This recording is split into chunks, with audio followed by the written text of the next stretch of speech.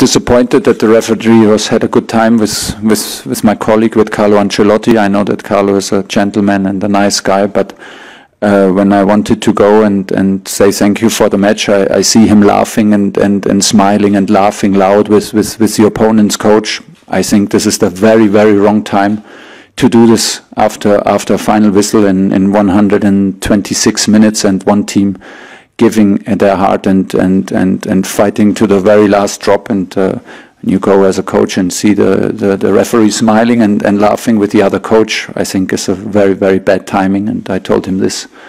Um, that was it. If you play against Real Madrid, can maybe not expect that that everybody has the, the courage.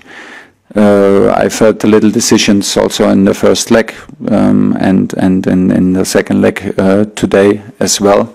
Uh, I did not see the goal, but I, I told him that I'm up super disappointed that he does not come out and, and, and check it on his own.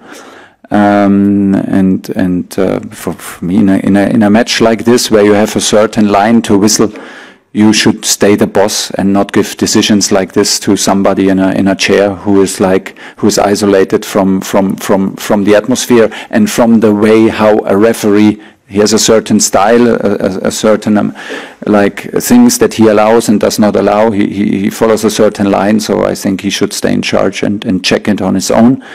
Then he can, could also uh, explain it better, but it's just my opinion. And uh, yeah, and about I, I, thought we deserve more minutes in the end because like uh, it felt like we had no minutes uh, to play net in the second half of the extra time, but maybe it's too much to ask for uh, then in, in matches like this against this opponent. Listen, we had it in our hands, um, and uh, and uh, we're not lucky enough. Uh, was was it's like this.